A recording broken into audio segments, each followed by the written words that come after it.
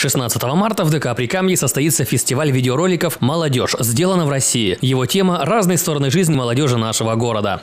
Вообще э, наш фестиваль «Молодежь сделана в России» приурочен к Всемирному фестивалю молодежи и студентов, который пройдет в Сочи э, в октябре 2017 года. Конечно же, мы надеемся, что работы будут э, яркие, интересные, на высоком качественном уровне, и надеемся, что потом этот материал сможем использовать, ну, в том числе отправить в Пермский край для того, чтобы они рассмотрели, каким образом эти ребята, создатели этого ролика, смогут принять участие в вот в этом Всемирном фестивале молодежи и студентов.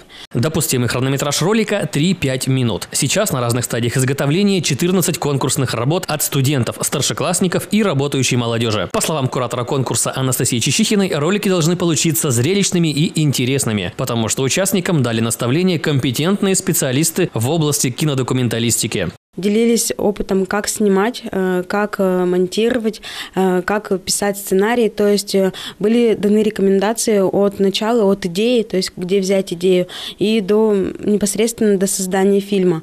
Организаторы обещают, что одним только просмотром видеоработ этот фестиваль не ограничится. Откроет его яркий зрелищный парад молодежных организаций города. Участникам и зрителям представит официальный логотип Соликамской молодежи. Еще ряд сюрпризов организаторы пока держат в тайне. Поболеть за своих друзей, узнать, какой видит себя молодежь через объективы, вы сможете 16 марта в 18.00 в ДК Прикамье. Вход бесплатный, дополнительная информация по телефону 52171 или в аккаунте ВКонтакте. По итогам фестиваля пройдет награждение в пяти номинациях номинациях. Кстати, организаторы оставили за собой право ввести дополнительные номинации, если в какой-то работе им что-то отдельно понравится. Антон Старостин, Максим Перелыгин, телекомпания Соль ТВ.